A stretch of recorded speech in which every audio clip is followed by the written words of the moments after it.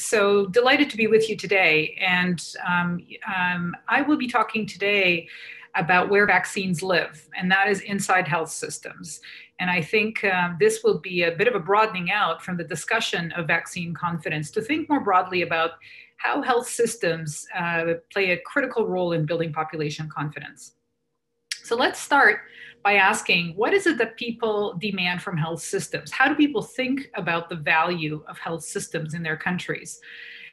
And I would suggest to you that it's quite simple. Uh, when people think about their local clinics, their hospitals, their providers, their pharmacies, they think that uh, what is happening is that when they use services, that's the utilization, they need to experience minimum quality. And those two things together produce health. So, the focus of my talk is going to be on why quality is such an essential element of health systems. But I think if you just substitute the word vaccines instead of health systems, we would all agree that the only way we're going to generate reduction in mortality from COVID is to marry utilization with high quality vaccines. So, in fact, this equation I think is very apt uh, for the uh, current moment. Uh, so in 2018, along with uh, 40 colleagues from all around the world, we published a report that took a fresh look at what do we mean by a high quality health system. And specifically, we defined high quality health systems as, are, as health systems that are working for people. A high quality health system uh, optimizes health in any context by doing three things well by consistently delivering healthcare that improves or maintains health, by generating value and trust among the entire population and by responding to changing population and health needs. And you can see immediately how all three of these things are extremely uh, necessary in the current COVID moment. We furthermore thought hard about how do you measure whether a health system is working for people? Um, how do we know that it's delivering the things that are valuable to people? In uh, the history of health system research and health system science, we've spent a lot of time measuring things on the bottom here, what I'm calling the foundations. We've spent a lot of time saying, how many doctors do we have and how many nurses? Do we have tools and uh, supplies? And I don't want to dismiss those things, they're extremely important, but they are back office functions for the health system. What we're arguing is that what needs to be much more upfront and much more central in measurement is what health systems do, not what they have in the cupboard. So when health systems function, they provide competent care and competent continuity of care across across episodes. Uh, they provide a good user experience. These things together join up to create the kinds of impacts that we're looking for from the health system, including, of course, first and foremost, improved health, also including confidence in the health system, which is our focus today, and uh, economic benefits from better health. I want to now uh, judge the current health systems, particularly in lower and middle income countries, which are the majority of countries in the world, against this ambition and against this vision. What our analysis has shown is that 8.6 million people die every single year from treatable conditions.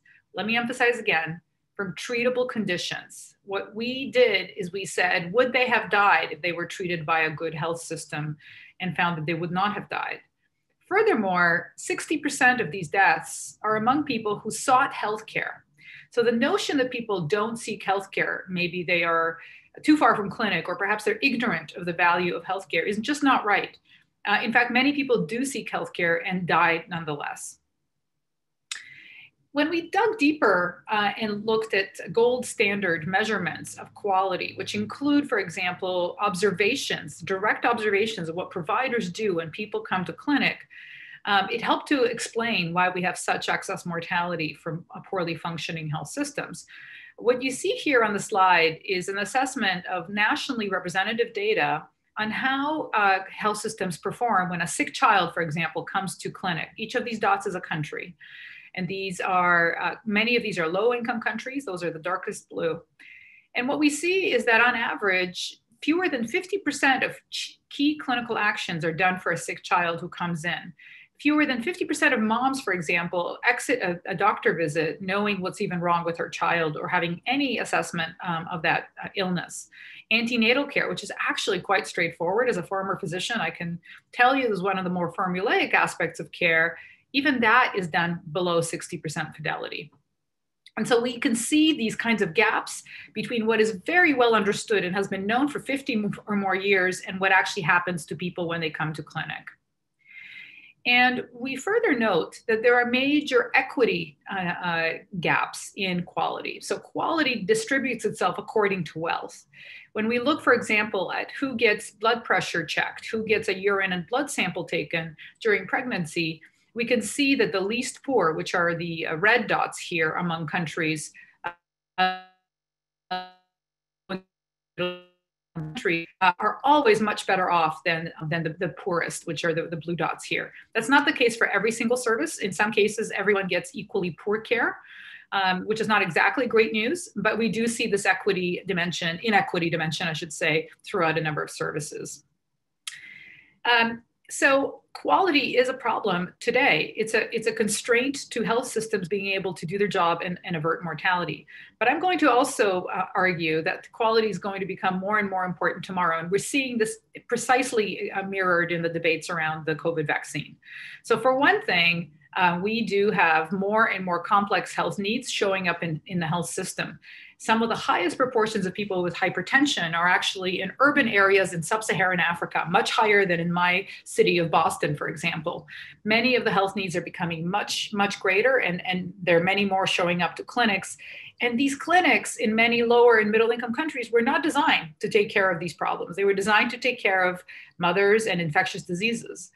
Second, because we have had many uh, wins, global uh, mortality has declined for children, which is a wonderful news. We have seen uh, huge um, uh, numbers of lives saved from HIV, AIDS, and malaria. These are tremendous uh, reasons for celebration. However, where this leaves us and health systems in low income countries is that mortality is lower, and the next tranche of improvement is going to be harder. And so, quality matters much more today than perhaps it mattered when mortality uh, levels were sky high. And then let's talk about this last issue, which is again very pertinent to, to the COVID discussion, which is the rising expectations of the entire population. And that's in every country. In every country, people have cell phones. Uh, in every country, people are on social media.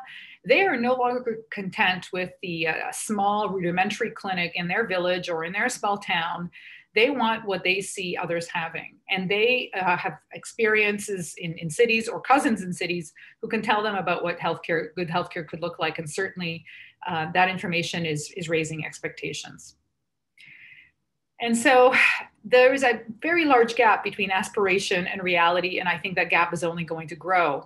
And what we concluded in the commission is that when you think about health systems as a whole, and health systems include vaccination systems, those decisions are made by people inside health systems. We've seen those moving photos over the last days of healthcare workers uh, giving the vaccine to, in fact, many times other healthcare workers.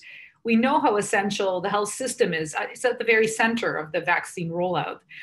But the health system has to be ready for that. And what we note is in many countries, many of the efforts to improve quality, to improve service delivery, are what we call micro efforts or point of care efforts, where we are working one facility at a time. We are trying to change the behavior of doctors and nurses. We have short term programs, local scale, and projectized programs. And what we know from the science and, and the evaluation literature is that many of these point of care checklist based kinds of uh, improvement strategies or short trainings do not elevate quality in the health system to close that mortality gap. What we called for in the commission are macro or structural changes that would be uh, really uh, working at the foundations of the system, different kinds of training for physicians, longer term um, uh, solutions, large scale and nationally led and not donor imposed solutions. So, what sorts of ideas am I talking about in terms of structural change? We identified four uh, uh, universal actions, as we called them. Um, and, and one of these is governing for quality, really rethinking how health systems are governed, knowing that when people look at healthcare, back to my first equation, the first thing they look for is, is this a quality service? Should I come? Right? And so governing the whole health system as if quality was the main thing that mattered uh, includes, for example, having greater accountability in the system uh, for population health outcomes, having much stronger management, taking feedback seriously, a number of items here. And the second is modernizing health worker education. to work uh, as teams, to work in a patient centered and patient respectful manner, uh, to, to look at uh, differential diagnoses in a different way, to be able to use technology and health information systems much better. Education in many countries for doctors and nurses has not been updated in the last 40 years. Redesigning service delivery, that is something that COVID has shown how incredibly capable we are uh, in many countries of quickly, very quickly shifting how we deliver services. Now, I, I, I, am calling for a more intentional and more considered redesign of service delivery, which I think COVID has allowed us to think about. Innovation care services will need to be done in person to be truly effective. But this has given us a moment to say, how do we do things? What really belongs in primary care? What really belongs as a, a home care service? Uh, and so I think this is quite important instead of taking for granted that the clinics and ways of working uh, we've always done will, will, will uh, persist. And then last uh, and, and critical improvement opportunity is igniting demand for quality. And I want to talk a little bit more about this because I, again, I think it's, it's very much linked to, to achieving better care and better outcomes for populations. But I've often remarked that healthcare is one of the few service sectors that really cares very little about the user. It's uh, organized at the convenience of doctors and supply side uh, bureaucrats. Um, and we really don't think very much about the hours that people spend uh, accessing healthcare, uh, really working with them to educate them about what good care looks like. Um, and, and even getting information on whether they're, they're deriving good value from, from that visit. So getting the population involved in helping design healthcare and giving feedback to healthcare is essential for improvement. I think you would uh, uh, probably, like me, uh, be in the position of getting multiple feedback requests from any service that you contact, whether it's a restaurant or an airplane uh, ride, um, to, to, to help improve that service. You rarely get that from your doctor. And so, in addition to the swath of improvements that we propose, I want to uh, talk a little bit about how do we measure differently how do we measure what matters and when it matters? Because healthcare, uh, health system measurement um, has also been lagging. Um, so the first thing is that we should not be measuring inputs to the system um, uh, except for management functions. Managers do need to know those inputs. But in terms of what we convey to the population, populations need to see function. They need to know, I, I, will use the COVID vaccine example, they need to know not just how many doses a hospital received, like mine here in Boston, but how many people got the, the vaccine and how do they feel after they got the vaccine? People want to know competence, um, not how many buildings or, or, or um, refrigerators there are. Uh, performance in normal times and in crisis times. People need to see how is their health system coping with the overload, for example, of cases. Um, how do we convey that information in an understandable way? Because it is that information that then can help determine influence people's actions. Um, and I should note that uh, we need to uh, convey performance for conditions that are crisis conditions as well as routine conditions and in normal and crisis times. And the last area of measurement that we think has been uh, has not been attended to and is essential is measuring people's voice and values and what is it that they want uh, to experience in the health system? How is it going? and uh, and what is their degree of confidence and endorsement. And uh, we will be hearing from Professor Larson. We've also and I'm sure we'll be hearing from others, sure people's intent. We know that intent doesn't always translate into action, and that's a great reminder. So stated preference, but also revealed preference. How many people end up taking up the vaccine? What motivated them to do it? Those are all essential pieces of information for us to be able to plan. So I want to just shift gears to this uh, dynamic element of high quality health systems. Um, as I mentioned earlier, high quality health systems have to adapt when a crisis hits, whether that's a, a, a crisis like COVID, but it's also potentially a slower moving crisis like population aging. Um, and we did some work uh, some years ago working with colleagues in Liberia um, after the Ebola crisis there to understand the notion of resilience. And we defined high quality, resilient health systems as systems that can prepare for and effectively respond to crisis while maintaining core operations uh, and reorganizing if the conditions require it. So let's just think about these three things and, and judge our own health systems uh, along these dimensions. Let's see what we find when we look um, at this. Um, these are some data from the, that the New York Times uh, collected about how the health system is dealing with COVID and with non COVID health threats. Because, by the way, cancer does not take a break because there's a global pandemic. Uh, and hypertension continues to uh, wreak havoc on people's coronary arteries uh, while there's a global pandemic.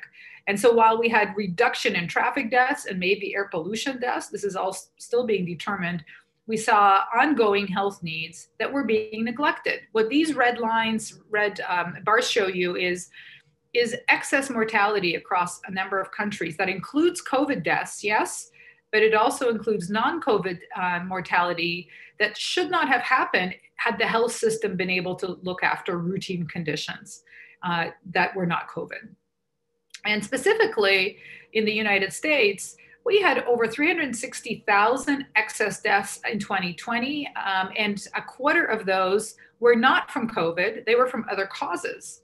And so to us, this is a very clear exemplification of a health system that has failed people, uh, not to mention, of course, failed people with COVID, which to some degree, this is an expression of, of errors in the health system and, and, and, and governance failures, which we can certainly talk a lot about. Uh, but it is a novel uh, disease that took us a while to learn how to treat. Eh, but also the fact that throughout this crisis, we have been uh, we have been neglecting uh, conditions that are not COVID that are also deadly, and we've seen data on this from all over the world. People with uh, heart attacks and strokes who are not coming to clinic, um, and we've heard from from Dr. Menning uh, that the, the toll may be much higher because of, the missed immunization opportunities that don't show up in these data yet. These are people who are acutely ill, but those children may get infected later on. And so we will have a long tail of excess mortality showing us that the health system was not, in fact, resilient. And just to show you in the US, the deaths to this point, and we're not through COVID, we're in a, in a, a, a new wave right now of COVID cases here in, in Massachusetts and throughout our country. But so far, you can see that people are dying from diabetes and Alzheimer's and high blood pressure and pneumonia in large numbers. And so that's an important thing to measure. Excess mortality is an ass assessment of health systems' ability to cope with conditions uh, across the board. Another thing that's critical to measure, moving to the user voice, is what people think about their health system. How um, confident are they that it's working? One of the commonly asked questions uh, on this front is to ask, do you believe your health system works well and maybe only minor tweaks are needed? Everybody wants to tweak the health system, improve the health system because it's so important to us and people give a lot of thought to this. And I just want to show you um, that uh, how, how these uh, opinions are distributed according to um, income per capita here on the x-axis and the percent of people who agree that their health system is pretty good and I want to just uh, um, point out a few things here that USA, for its extremely high spending, has actually a pretty low endorsement rate. We think of this as endorsement. And so maybe it's not so surprising that a number, a proportion of people in the United States um, are skeptical about uh, receiving a vaccine from such a health system that they don't think is working well. Um, but I think this is an important complement to the information on vaccine hesitancy to understand whether people's uh, belief in the system that is delivering the vaccine is really there.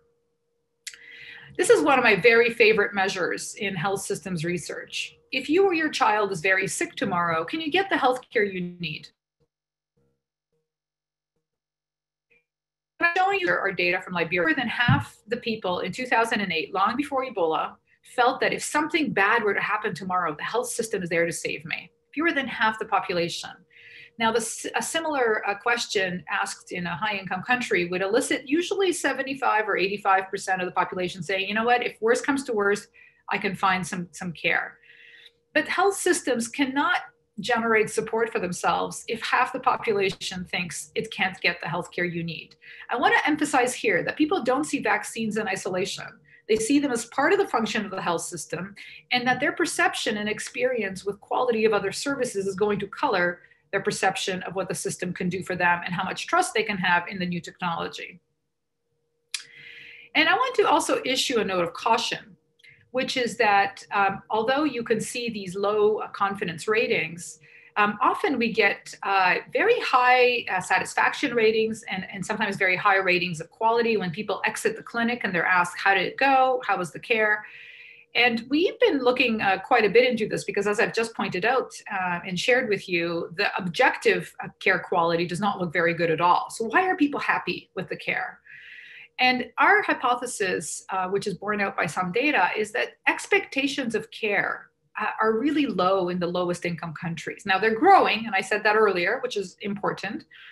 But I, I want to give you an example of, of data that shows that expectations are still too low. And if people have low expectations, it is difficult for them to press for change. Uh, this is data from an internet survey done in 12 countries in which we describe a, a care visit uh, in which the nurse uh, does, does not uh, assess this patient's hypertension. She doesn't check his blood pressure. She doesn't ask about his symptom, but she gives him a new prescription for medication. And what you see on the right is a proportion of people from each country who thought this care was good, very good, or excellent. And it's generally half or more of the population thought this was pretty good care. I think as a physician, I would say this is pretty bad care.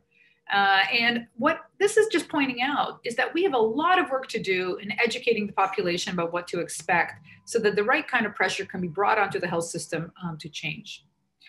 And so to come back to resilience and measuring resilience, we proposed that there were a few uh, essential uh, elements of resilience um, that, uh, that, that should be measured and, and, should be worked on.